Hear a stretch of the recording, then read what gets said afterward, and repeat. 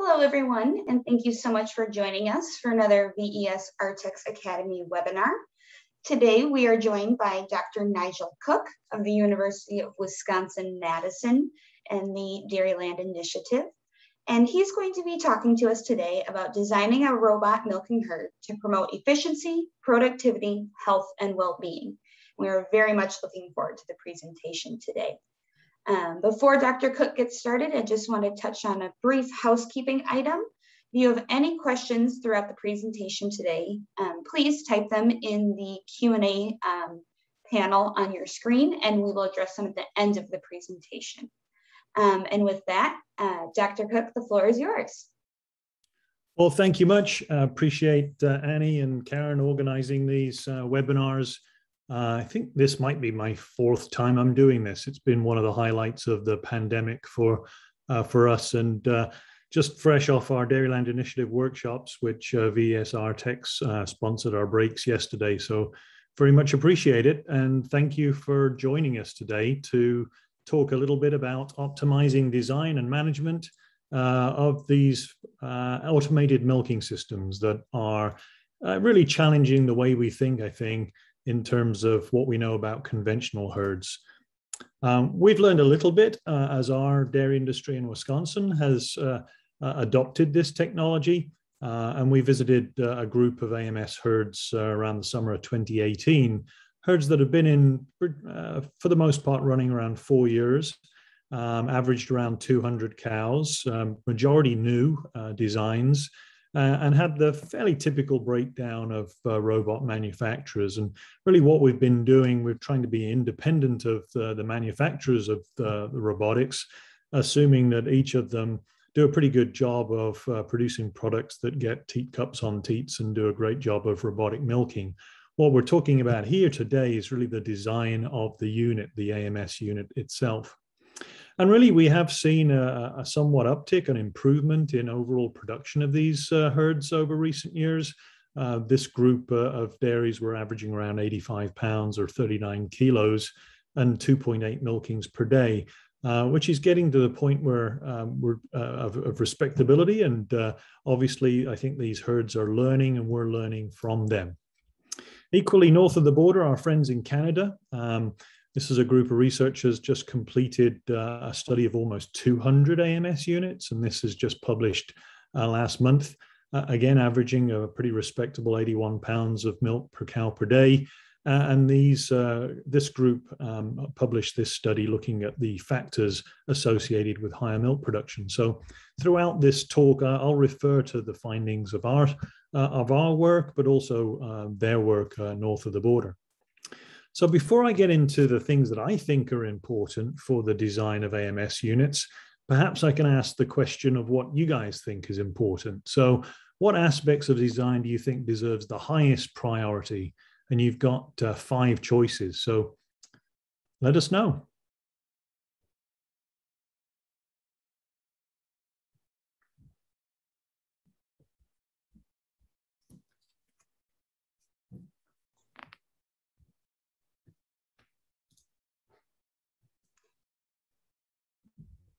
We'll give it just a few more seconds for people to get their answers in.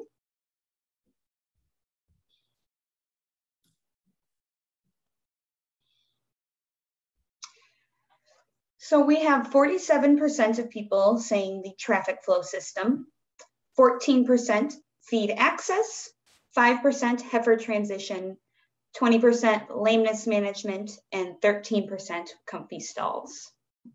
Pretty good. We, we did this yesterday and actually got pretty similar results. So uh, fascinating stuff. Thank you for, for giving us that information.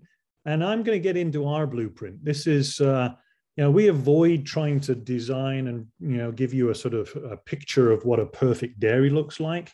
Rather, we want to give you a series of points uh, to follow, a sort of blueprint, a map uh, that you can sort of tick off and adapt to uh, different producers' um, emphasis and uh, uh, points that they value more than others. But these these are the things that we've come up with not only uh, through our Dairyland Initiative program, but also our friends over in Finland uh, give a shout out to them, the 4D Barn Group. And if you want to go to their website, 4dbarn.com, they'll uh, uh, you'll be able to find some of the services and uh, skill sets that they have to offer. We've learned a lot from them.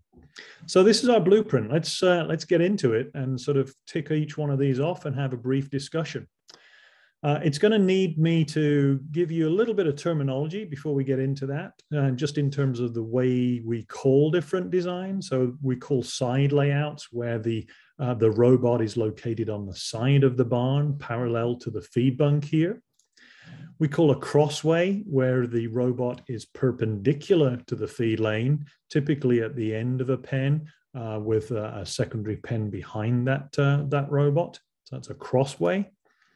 An L shape is a combination of both a side and a crossway. So you get both in the shape of an L. And they can be laid out uh, as head to head with the cows facing each other or head to tail with the cows pointing uh, towards, typically towards the feed bunk. And then a toll booth uh, is a, an arrangement uh, really laid out like you're paying a toll driving down the freeway, where cows come into the robot here and then exit behind the robot and back around. Um, and uh, there are some slight variations of that layout we'll come on to in a moment. So the first uh, element of our blueprint is to ask for 55 cows per robot and a minimum, uh, minimum two AMS units per pen. Let's go into that. Well, there's this thing called theoret theoretical robot capacity. Typically wash the robot uh, for about two hours a day, leaving you 22 hours of uh, robot availability for the cows at an average box time of around seven minutes. Uh, that equates to a milking around eight cows per hour, uh, which is 176 milkings per day with those 22 hours. And at our average 2.8 milkings per day that we were seeing, it equates to around 63 cows per robot, which is fairly commonly seen. I think we averaged around 60 cows in our survey.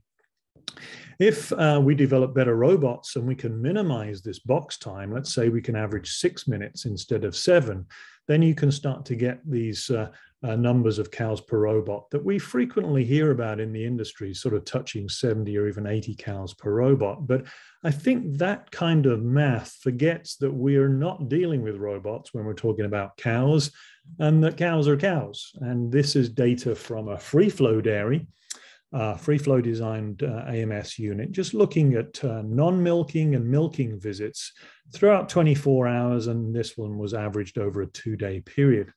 And what you can see with this graphic is that the desire to be milked by the cows isn't a, a uniform constant at uh, uh, seven or eight cows milked per hour throughout the day. There are periods two o'clock in the morning with very little activity around the robot there are other periods, you know, typically early morning, later afternoon, and uh, just really uh, at uh, bar closing time when cows are just ready for uh, getting ready for bed. They uh, have some intense activity around, around the robot here.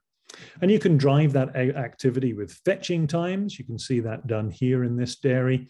And obviously, you can artificially reduce activity by uh, these wash up periods that you see here and here. But the desire to be milked isn't constant. That's really what I want to send, uh, sell here. And so there's, although there's no real threshold for cows per robot that we can point to in the literature, um, it's unlikely that we can achieve these very high numbers that we can theoretically achieve uh, with better uh, operation of the robot and, uh, and prompter unit attachment. Those are good things in themselves, but we still have to accommodate the cows. And greater numbers of cows per robot will decrease visits in our data sets, uh, increase fetch rates. That's been shown multiple times. Uh, and so just remember, cows aren't robots. And I think we should be designing closer to around 55 cows per robot uh, than 60, 70, or even 80. There's a little bit of data. Uh, this was Marlene Tremblay's work um, looking at uh, red robots, uh, over 500 of them, um, and finding more milk per robot with more than one robot per pen in that data set. And that makes somewhat sense. And uh, there's some preference there for us to have two or more robots uh, in a pen. It allows you to do some maintenance, it gives you some flexibility, it gives the cows some choice. Uh, and um, there's greater chance of robot access for subordinate cows, uh, a topic again we'll come on to in a little bit. So that's point one. Point two is an old friend of mine, uh, deep loose bedding. And uh, we're obviously big proponents of sand. And uh, historically, sand has been a little bit scary for the robot manufacturers. Um, in terms of the design, it does preclude a lot of slatted floors, and that's no bad thing if we're trying to reduce lameness rates. Uh, does require some adaptation to scraper systems, making sure you have a collapsing V to allow bedding access equipment to drive in, because uh, we need to be very efficient in the way we deliver bedding in this type of scenario. And there are some tweaks uh, with each of the, um, the robot systems to help them uh, manage their way through uh, increased wear with sand. But uh, in our view, fairly manageable issues that we've seen our industry conquer. Because in our survey, uh, we saw 57% of our robot dairies using sand, 24% uh, a rubber crumb type mattress, 17% water beds, and 2% manure solids, giving you about total 60% of the herds using deep, loose bedding. And those herds outperformed the others, as we've found with our conventional herds, averaging about 86 pounds for the, the deep loose bedded herds, uh, around 79, 78 for the mattress herds. And that was very similar to what we saw in the Canadian data that I, the study I showed you there. They found a 3.3 pound a day uh, improvement uh, with the use of sand bedding compared to other bedding surfaces in their survey. So that does seem to be emerging and consistent. Moving on, uh, a minimum 24 inches or 60 centimeters of feed bunk space per cow in the main lactating pen with frequent feed push-up and free access to feed. So there's quite a lot in there.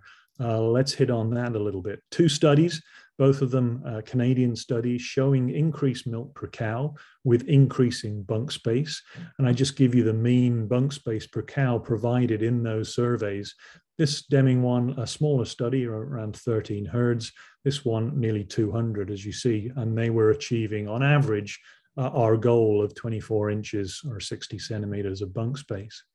And unlike our conventional herds, which you know that typically means that we're going to build two-row pens, and you can certainly build two-row stall pens for uh, robot facilities, but you can achieve those numbers with three row pens in, in robots. And that's because uh, robots have these larger crossover areas uh, in front of the robot themselves. Uh, and you can extend the bunk around the robot uh, room to increase bunk space. And obviously, you can play around with uh, the number and width of crossovers and things.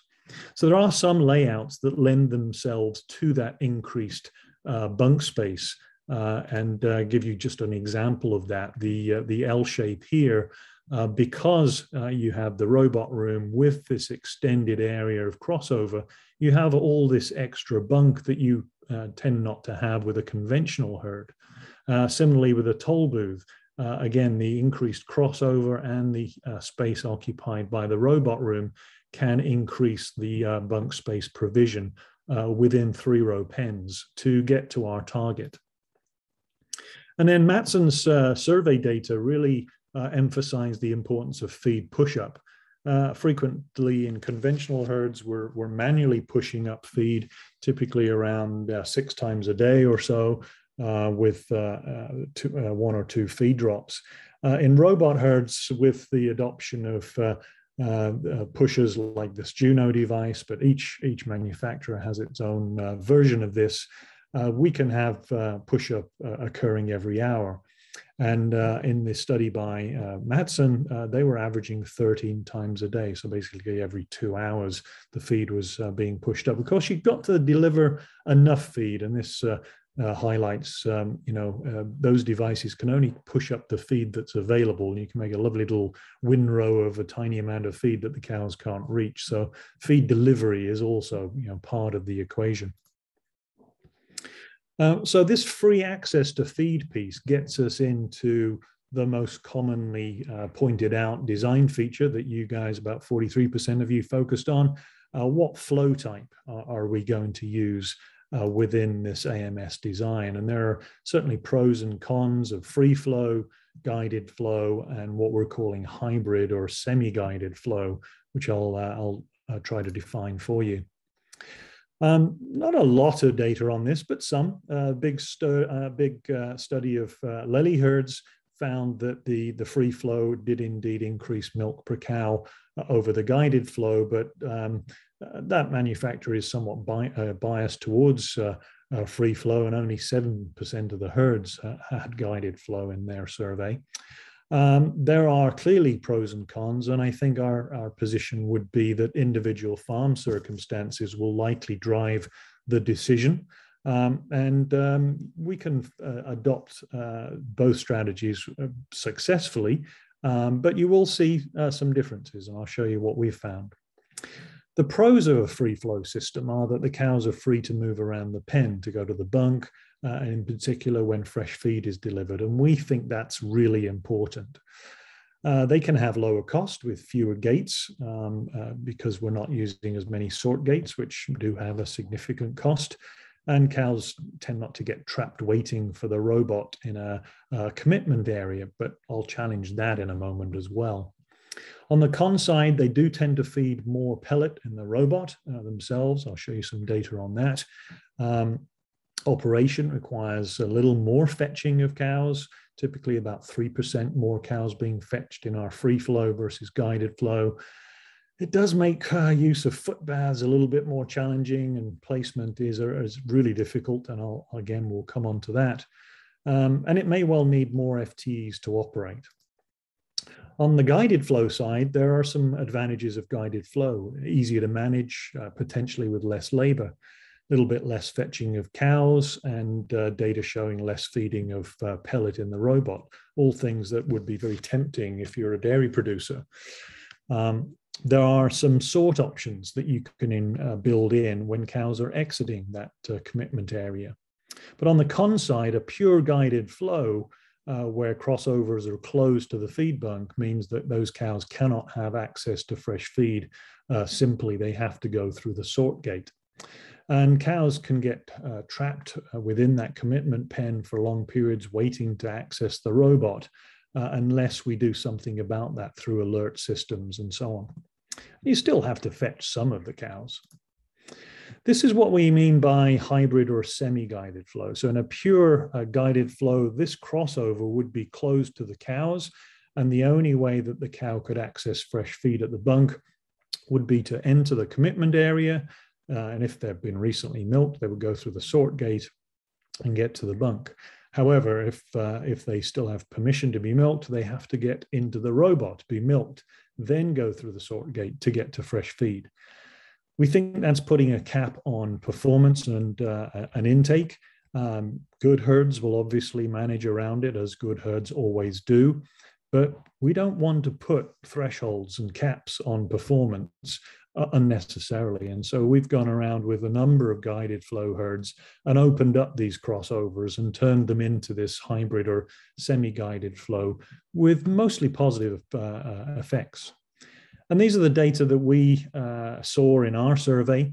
Uh, 66, uh, 66% of our herds were free flow, uh, a quarter were guided flow, and 10% were hybrid. So we only had four hybrid uh, semi-guided flow herds. So emphasize that, not enough really for uh, statistics here, but we do have a significant difference between the free flow and the guided flow of the order uh, of about six pounds of milk and not surprisingly, and I think you know, pretty. Uh, this would be what we would predict. Although we have only a few of them, uh, the hybrids were intermediate between those two levels, which again is what we would expect.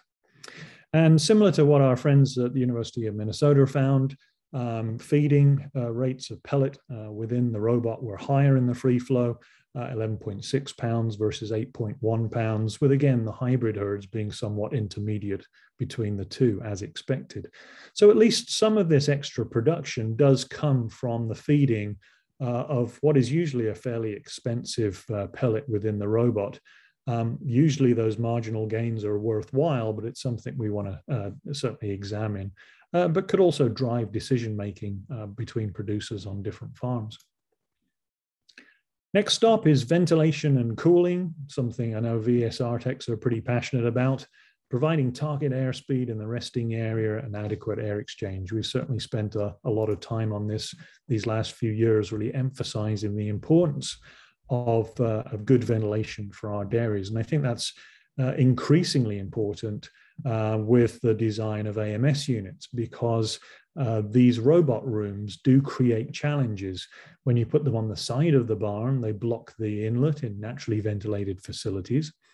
Uh, when you put them in the middle of the barn, they block airflow uh, in um, uh, tunnel ventilated facilities.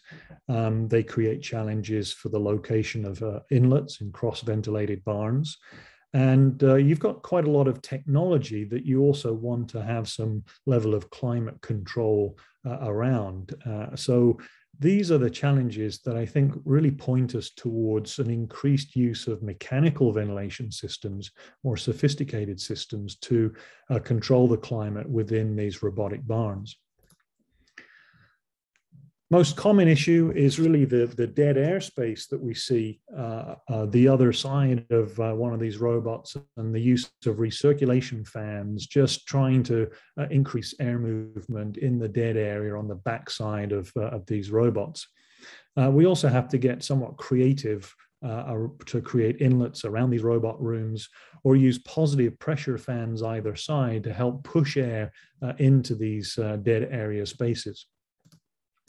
The importance of uh, ventilation overall uh, was really highlighted in this Canadian survey, again, 200 herds. And what they found was basically the use of any type of fan uh, compared to purely naturally ventilated barns increased milk production. And it increased it by a lot, uh, 5.7 to 9.2 pounds per day the benefit of mechanical or supplemental uh, ventilation systems over pure natural ventilation. So it's a big deal. And again, this is Canada. I mean, it does get a little warm during the summer, but it's it's certainly not Arizona. Uh, so this is just again emphasizing the importance of cooling and quality air uh, in these types of facilities. I showed you this picture of a nice tunnel barn, flat ceiling, uh, fans over the stalls, um, good air exchange, good air movement where the cows are lying down, and certainly where the industry is heading uh, with different uh, concepts to improve air movement and cooling within these barns. Next up, cows must be selected through a foot bath when uh, leaving the robot. So, uh, how do we deal with lameness in robot dairies? Well, two recent surveys um, 2016, 2018 would point towards a situation where, uh, frustratingly, we seem to be going backwards with lameness management. Uh, we've moved uh, a, a, lot of uh, conventional herds from around 25% uh, lameness to 10 to 15% lameness over the last 10 years, uh, almost halved the rate of lameness within our conventional herds, certainly in the upper Midwest. Um, these data would suggest um, that the, our AMS units are where our conventional herds uh, were and where many herds are still uh, around the world. And that's a bit frustrating to think about when we have uh, the adoption of the most sophisticated technology available to us uh, and still fail miserably on lameness prevention you don't want a lame cow in a robot dairy. They visit the robot uh, less frequently. They are uh, they become the fetch cows. Uh, they're just a nuisance. And so, how do we go around managing it? Well, uh, we do have a challenge related to the use of foot baths in um, in these uh, robotic dairies. Um, we typically, on average, foot bath around four times a week in a conventional herd, and it's easy. You put the foot bath uh, in a return lane as the cows come back from the parlor. You don't get to do that in, in a robot herd, and so we see many um, uh, uh, foot baths located in crossovers, such as you see here. Uh, some producers complain that when they put a foot bath on the exit of the robot, that it reduces robot visits, so they don't like doing that. But we, uh, we have a problem. We have some challenges here that we need to address. I believe we need to design the AMS unit so that we can select cows from the robot to walk through the foot bath when we need to. Uh, I'm uncomfortable just putting a foot bath in a location where every time the cow goes to the robot, uh, she gets foot baths because that could mean foot bathing six times a day. I'm not sure that's necessary. But equally, uh, we don't want a situation where foot baths are voluntary or just not done at all. So as we look at different designs, it really points us towards uh, layouts where we can uh, create that selection process. Where do we put the foot bath uh, that makes sense? Where we can select animals uh, through um, uh, through the through the bath as they uh, walk walk out of the the robot. Um, toll booth uh, layouts such as this have an exit lane behind the robot. The cows leave all of the robots in this lane and they can be selected uh, at an appropriate time into a foot bath before they rejoin uh, the lactating cow group. So we like this kind of selection process. It can also be used to select a cow for hoof trimming, which I'll mention in a moment. This island system, it's an adaptation of a, a side uh, installation where you put the robots actually in an island in the middle of the barn in a quadrant system. So here's one part of a quadrant with access to two robots here. Cows are uh, in a guided flow system, so they're entering a commitment pen, uh, being sorted uh, through a sort gate here to enter to, to get milked. But on the exit, uh, they can be uh, selected to go through a foot bath at that time before they return uh, to the main pen. So in an island system with guided flow, we can use uh, a, a selection process for foot bathing. This is an adaptation from 4D Barn of the toll booth, where the, uh, the robots are actually angled in a sort of herringbone here. And as the cows exit, uh, they can uh, eat at the feed bunk here, but to rejoin the main group, we can set up a, a barrier and a selection gate at this point uh, to direct the cows through a foot bath in this location, or we could move this whole assembly up to this location, closing this off, and the cows could walk through a foot bath at the end here where these stalls are located before they return to the pen. So again, selecting cows into a robot drives you towards uh, certain uh, layouts where that is possible. Um, I also mentioned the, uh, the, the ability to select cows uh, that require uh, attention to their, to their hoofs. Um, we very commonly uh, have commercial hoof trimmers pay them to visit the farm once a week, once every two weeks, once a month, whatever it is, and they'll come and trim and do a great job for us, trimming 50 to 100 cows a day. For AMS units, that's incredibly disruptive to have uh, 50 or 100 cows in your unit trimmed in one day. It disrupts their pattern of, uh, of robot attendance.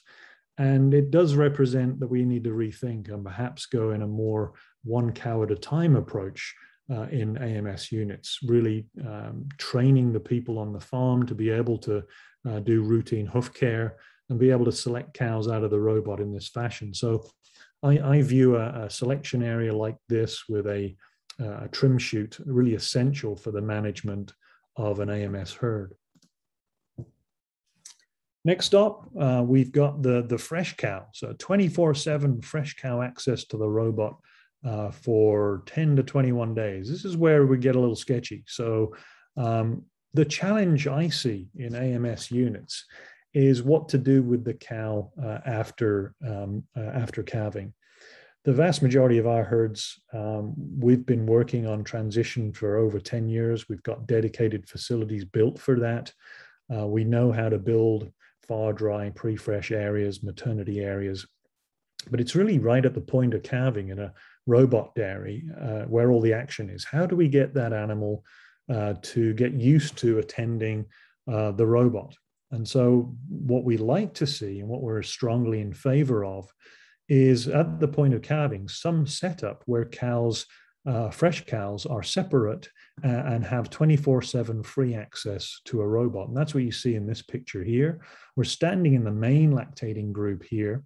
Uh, where cows can access the, the robot. But with this flip gate, cows on this backside here uh, can attend uh, the, the robot just by pushing against the gate and coming through here, and then they can be selected back into, uh, into that pen. The question for us really then is how long do we keep cows uh, separated for in this manner? And that's where we've got our next poll question is the farms, the, the AMS units that you have or you're working with, how how long do they separate their fresh cows for from the main lactating cow group?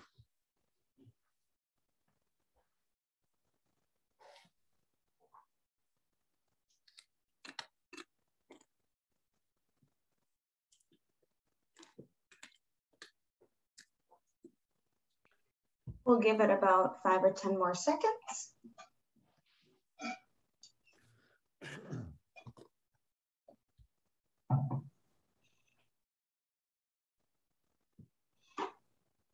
All right, so it looks like we have 70% saying no with 30% saying yes. Thanks, Annie. And again, that's well, that was pretty typical of our workshop as well. So we're not seeing the same approach to fresh cow management in uh, our robot dairies as we are in our conventional herds. In the vast majority of freestall house conventional dairies that we're dealing with, fresh cows are housed typically for about 21 days separate, and then they join a main lactating cow group. That's not being done very often uh, in our robot facilities. And I'll show you some data from our survey uh, on what we saw. So typically, uh, what we're seeing on average is that fresh cows and heifers uh, are separated from the uh, main lactating group uh, for an average of six or seven days. So that's why we chose that seven days in the poll question. So again, most people not doing that. Indeed, 38%, almost 40% of the herds really only separate the cow for one day or less. Um, so they're they're basically uh, we have an approach uh, where fresh cows and heifers are uh, competing with uh, other lactating cows uh, right from the get-go, right from the start, and and that just seems like a big challenge, uh, particularly for the the first lactation heifers to me. Um, we do have herds, small number, but we do have herds that actually separated cows for 14 days or more. Uh, and sometimes we get arguments about, well, that's that's going to disrupt the the cow's uh, use of the robots, and, and, we don't like that idea. Well, the herds that were doing this had higher production than the herds that weren't doing it, and it certainly didn't seem to negatively impact them. So that seems to be a kind of a, a red herring uh, that we're not seeing consistent in the uh, uh, in in the field. Um, the question when to move, I think, is really a valid one. How long do you keep the cows separate for? It probably isn't an average of 21 days in, in AMS units because you've got so much more data to look at uh, to determine when that cow is you know successfully through transition you've got components you've got um, individual milks uh, you've got a lot of data that you can look at and decide at day six or seven whether a cow is ready to move uh, and compete in the main lactating cow pen. But equally, you want some flexibility so that you can see a cow that is struggling and continues to struggle at 10 or 20 days, uh, where you can continue to give them um, the sort of special needs uh, uh, help that they need to to make that transition successfully, so they don't uh, end up as being a, a, sick cow or a DA cow uh, in the the main lactating cow group. So um, a real work in progress here, where really a small faction of the AMS uh, industry is focused on, uh, you know, separating fresh cows and um, transitioning them in similar manner that we have done in our conventional herds. In larger herds, you can have your own fresh cow robot. Typically, it's around 600 cows. That would support uh, a 50 cow fresh pen for about 21 to 30 days. And again, we did have one example of a, uh, of a herd uh, doing that. Um, and, and again, there'll be pros and cons of managing that separate group and then those animals adapting to those group changes uh, after around a month. But uh, from the few herds that are doing it, they don't seem to be uh, struggling negatively as a result of it. And here's that, uh, that the prime example that we had here. This is cows going through a, a, fresh cow robot. This is the fresh pen here located. And once cows are through uh, that sort of 20 day period, they get moved into the, the milking pen. Um, associated with uh, transition is uh, the first lactation heifer and transitioning that heifer uh, into the main herd. So let's spend a few minutes thinking about her. Uh, these are data from, again, from our, our, colleagues at University of Minnesota from their survey, um, looking at both uh, free flow and guided flow herds, recognizing that the peak ratios, the ratio of the mature cow peak to the heifer peak, uh, is not where it needs to be. Typically, in our conventional herds, it'll be 75 to 77%. We're seeing 71% in guided flow on average here, 74% uh, in free flow, uh, representing that the heifers appear to be struggling relative to the older cows in our uh, AMS units. I think that's led and challenged a lot of producers to think about ways to get heifers more used to uh, using the robot. And you can see here the construction of a sort of dummy robot here. So you can uh, see that cows could have uh, get used to using that uh, area during the heifer rearing period. And obviously some devices to help placement uh, so that they can stand comfortably uh, at the point of calving.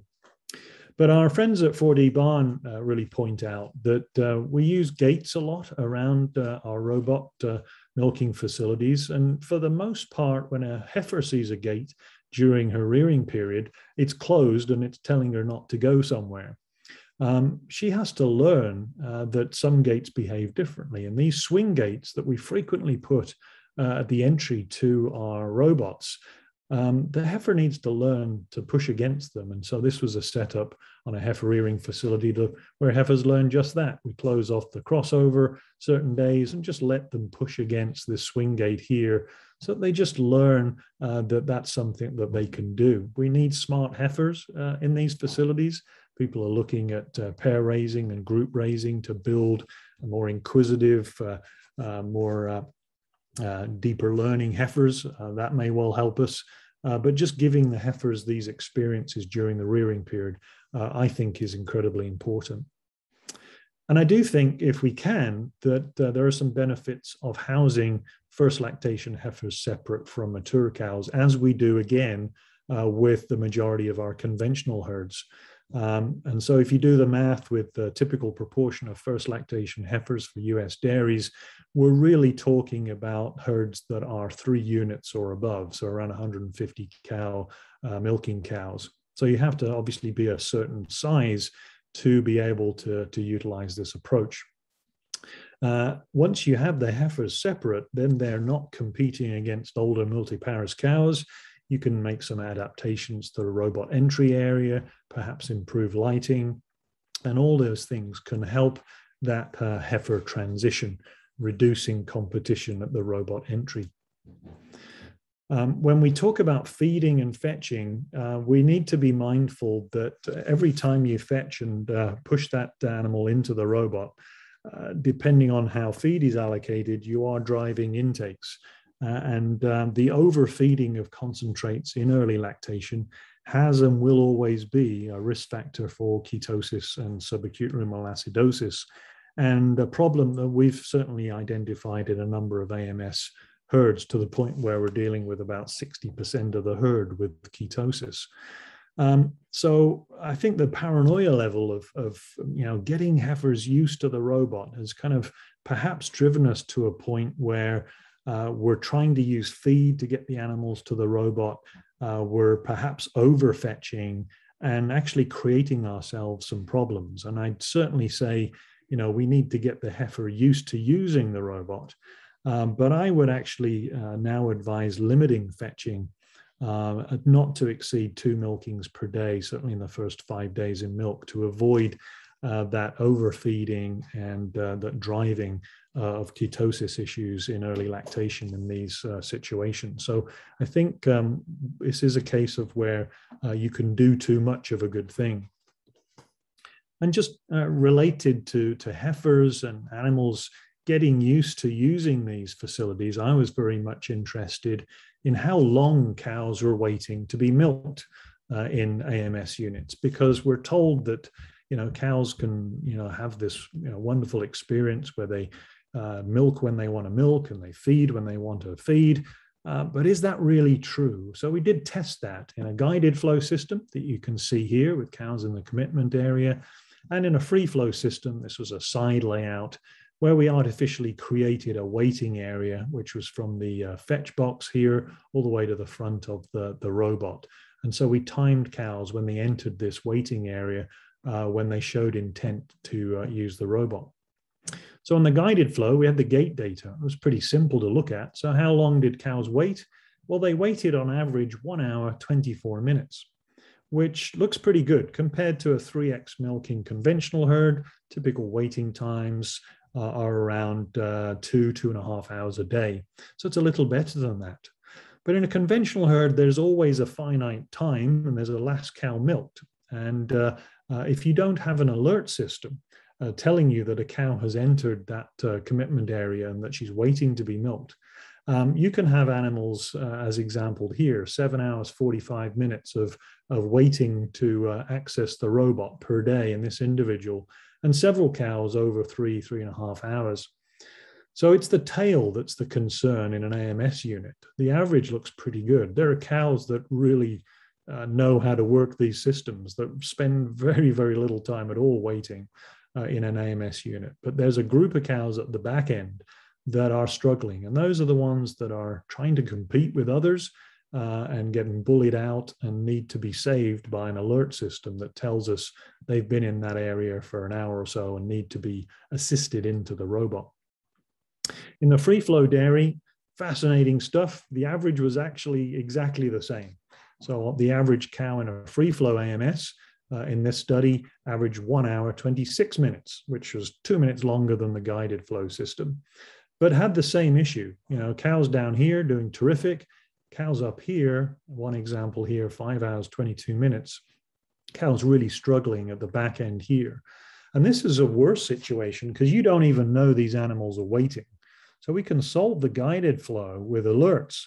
Um, there is no gate telling us that these animals are weighted in a free, uh, waiting in a free flow system. This, this is solved by design uh, and knowing what's going on. And what was happening in this herd was that we were dealing with a mixed parity group where the heifers were with the older cows.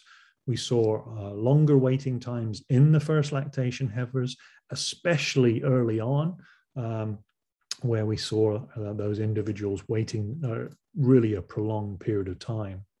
So here's a, a, first lactation heifer, cow 69. This herd operates with the fetch pen open when it's not in use. And you can see this tilt gate uh, that allows access to the robot from one side and the other side. Uh, and um, again, you can see these cows positioning themselves to gain access to the robot. And the fault with this design is that the pivot point is just far too far, too close to the to the robot. And the cows, these dominant cows here, can get in front of our timid little heifer here and dominate their way into the robot and keep put and it just keeps pushing her back and back and frustrating her. And she'll get to the point where you think oh man she's just perfectly placed to to get milked uh, here. Here she is. She's got her shoulders in the right place. She's going to get in the robot for sure this time. And then a big old boss cow comes in and just shoves her back. How can you solve that? Well you solve it with design. And uh, this is an example farm that did just that. So instead of having the tilt gate, you see the tilt gate here right next to the robot entry, you put a little four or five foot uh, fence up to protect the shoulder and the front end of the cow that's waiting. And if you do that, then uh, you have a nice timid cow waiting to use the robot and a big old miserable boss cow like this one comes along and tries to push her out of the way. And as much as she might try, uh, she just cannot uh, move that animal out of the way. Sorry, that video glitched, so we'll play it again. So here's our waiting cow. Here's our boss cow. She tries from one direction. This is a semi-guided or hybrid flow. So now she's gone through the finger gates here. Now she's locked in here, but she can't move that animal out of the way because she doesn't have access to her shoulder uh, to be able to barge her out of the way. So our timid cow will get access to that robot and there she goes. Well, let's get into that a little bit. Functional gating and design around the robot to minimize labor, because really the bottom line is when a lot of our producers are choosing AMS facilities to minimize the uh, labor. And so we collected some information on just that for all herds and then just comparing uh, free flow with guided flow here just to give you some comparison. So when we include calves, because feeding the wet calves uh, has been included in other studies which we wanted to compare, uh, one by our friends at 4D Barn, uh, we averaged around uh, three and a half to four minutes uh, of time per cow per day in performing uh, robot chores, basically managing the farm. And it was a little longer, it was about half a minute longer per cow per day in the free flow versus the guided flow. And relative to that, we saw when we look at cows per FTE. And here we did exclude calves so we can compare with data that we have from conventional herds. On average, about 170 cows per full-time equivalent worker, which is a, a 50-hour week worker, uh, more cows per worker in our guided flow uh, than our free flow. Um, but all of those compare very favorably with the typical sort of 50 to 60 cows per FTE that we see in our conventional herds. So these herds do look uh, very good in terms of labor efficiency, but within them, we do see uh, an advantage in terms of uh, less sort of time spent working and less workforce in the guided flow versus the free flow, which we sort of suggested early on as we looked at those pros and cons. Where that time is going as we compare guided flow and free flow, free in the blue, guided in the red, uh, moving and fetching, which again we knew, more time spent in the free flow system, but also in the robot room. They're spending a little more time uh, cleaning and doing some things in the robot room that we were wanting to investigate further. When we look at labor time, and here again we're excluding calves, uh, and looking against milk production. So the blue line is milk production from the lowest milking herd to the highest milking herd. Uh, we're putting labor across here. And as our friends at 4D Barn showed, there's no relationship between the time you spend working on the farm and the milk that you get. Uh, we have efficient and inefficient farms across the board, such as the trend line here uh, in terms of the, the time we're spending is averaging around three minutes per cow per day, about a minute less than when we include uh, calves. So the line is around three. You can see it's flat across there. There are herds spending over eight minutes uh, per cow per day. There are herds down as little as one uh, minute that basically didn't do any fetching at all. Um, so you, you need to find a balance, obviously, to manage the herd correctly. Uh, but fascinating to see this sort of variation in the time that people are spending uh, working in these herds. We did see a, a leveling off, an efficiency point perhaps, uh, where the uh, um, as herds get to around 200 cows, uh, we see improvements in efficiency to a point when then it kind of levels off thereafter. Whether it actually goes back up again when the herds get really big, uh, that would be a, a, question for another day. Our max herd size was just around 480 cows. So we didn't visit the 1,000, 2,000 cow robots uh, that uh, that are are in existence now. So um, work for another day. But certainly in terms of efficiencies, we're thinking a single person needs to be able to move cows around. That, in, uh, that involves proper gating design, uh, that uh, it's efficient to put the robots in the same area rather than have multiple robot rooms scattered around the barn so you can get your chores done quickly. We like uh, the maintenance and management of 24 7 access to the robot for fresh cows so we don't have to spend time moving them, uh, less time for fetching and moving and so on minimizing fetching frequencies really to sort of two periods of the day, timed preferably when we see actually low activity around the robot, not high activity. Um, minimizing those areas that need to be manually scraped for manure. And again, those four robot 200 cow dairies seem to be a sort of sweet spot in terms of efficiencies. And again, our friends at 4D Barn really have uh, shown uh, shown us the the benefits of perimeter feeding versus drive-through feeding, which is what we're used to in uh, in robot design, where we can put the robots together. Uh, have one uh, separation area, one management area, rather than duplicating those areas, uh, creating efficiencies in terms of labor and design. And this is one of these wonderful little um, gating diagrams that uh, our friend Jouni Pitkaranta puts together, really emphasizing thinking about how you move cows around these uh, uh, facilities to a lame cow pen to get them into the fetch pen, into the robot and back again, uh, into a chute, into a foot bath, into a separation area, and so on. Really thinking about that before you start to build these facilities. With that, uh, alleyways are incredibly important um, in these designs to help reduce uh, the stress of moving animals around and reduce the time of fetching. These are the highways that cows use to get to the robot. Uh, good, comfortable stalls will help facilitate that moment uh, movement because the cows won't all be standing there all the time. So all that's important. And we've added uh, to our conventional herd uh, recommendations realizing that we need uh, slightly uh, wider alleyways within AMS unit designs than we've typically uh, uh, used in conventional herds, and really emphasizing that area directly in front of the robot, making sure that we've got a good clean area, at least 20 feet for cows to readily access the robot without a lot of competition. And again, this is a beautiful dairy we visited in Finland uh, using this herringbone design, which really opens up the access point here, points the cows towards the feed bunk, and this is always busy throughout the day. The cows just leave the robots, start eating there. But this emphasizes this nice clear area in front of the robots. The cows don't have to compete each other as they wait to use uh, these uh, robots. So that's our, our list of uh, our blueprint to uh, for successful AMS design. And it really points you towards, as you look at these different options, one option that, uh, that, that says yes to most of these facets of design, and that is that toll booth uh, recommendation. Uh, it gives you that flexibility of traffic systems. Uh, it allows you to have um, a separate fresh group.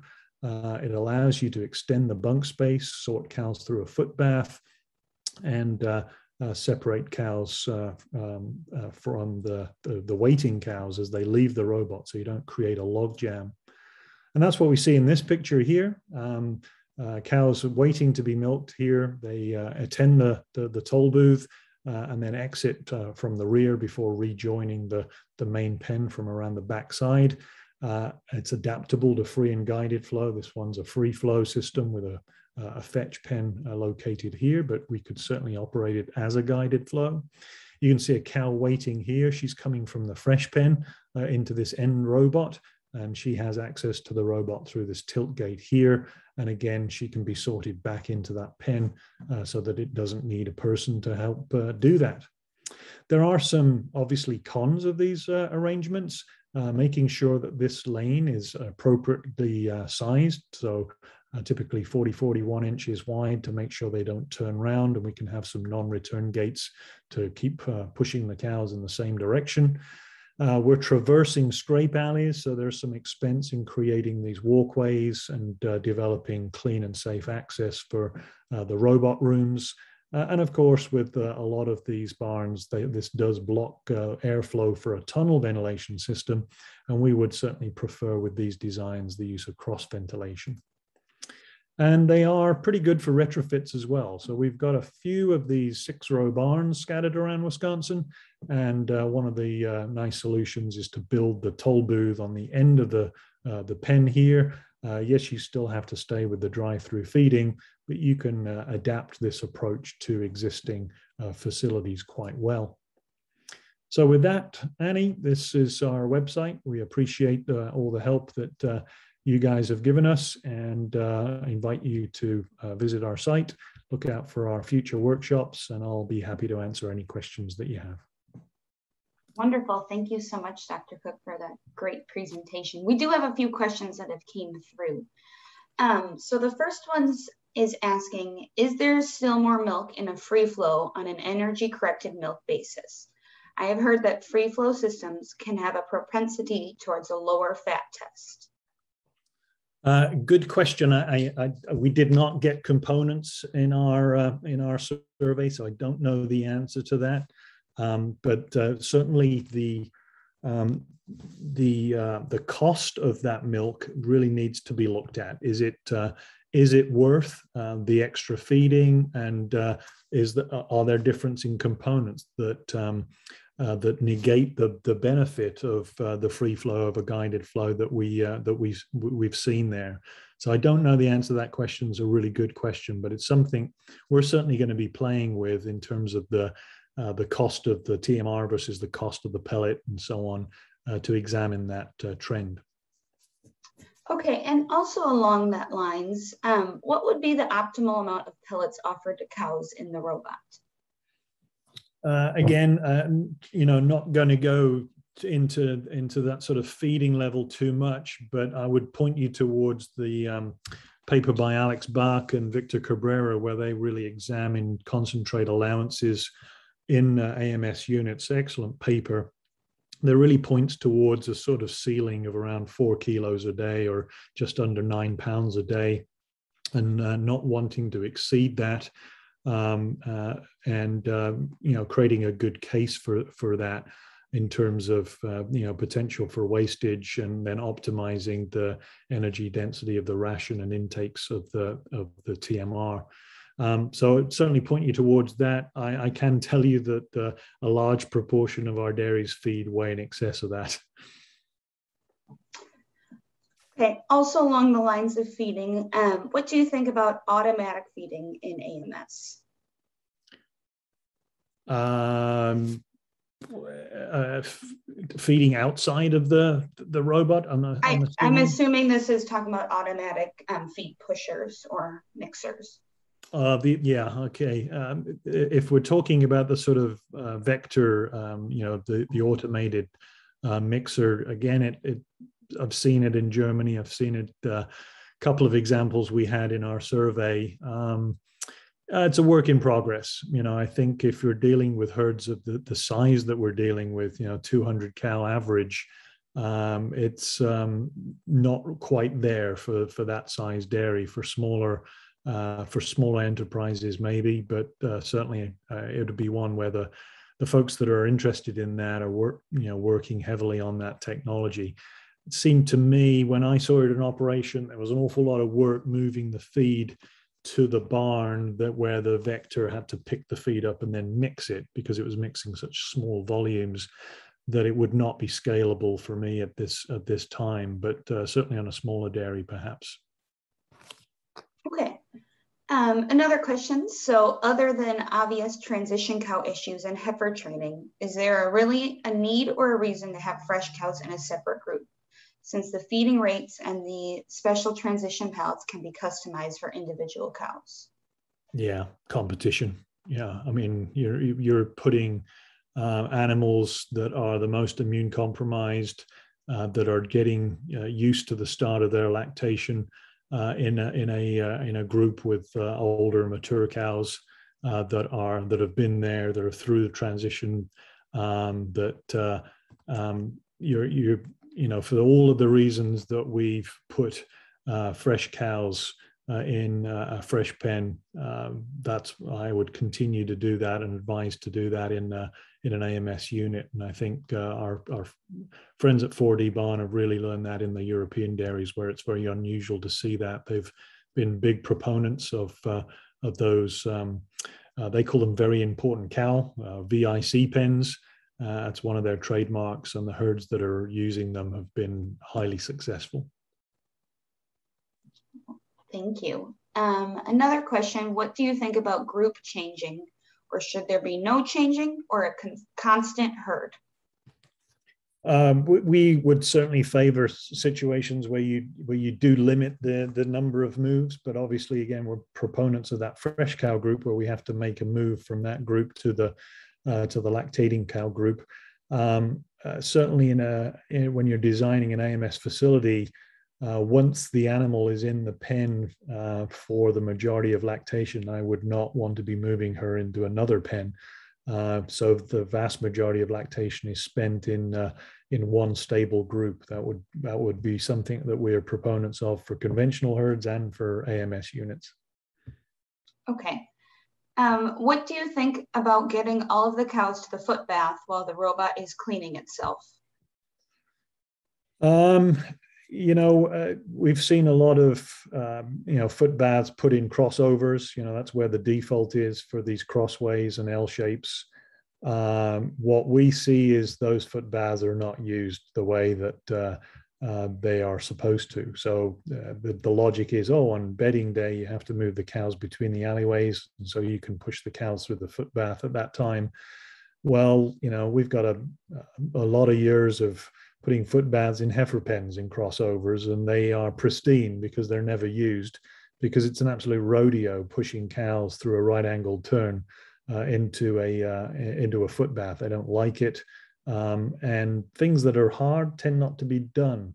Certainly, the one of the herds that we videoed, um, yeah, they claim that they use the foot bath on uh, on bedding day, and uh, what we saw in the video was that they looked at it and said, "Nah, we'll just leave the crossover open," and so they skipped foot bathing. We see very few dairies foot bathing. uh, three or four uh, times a week uh, in AMS units right now. So the foot bath frequency is is is pretty low. And uh, while we don't have a lot of really good information on lesion types in AMS units, you know, we're seeing that 25% lameness. Uh, the information I do have would point towards infectious hoof disease being a significant component uh, of that. And it's certainly been so in the herds that we've troubleshooted uh, and tried to develop uh, infectious hoof disease control programs around that. So I think um, that about wraps it up for questions that we had today.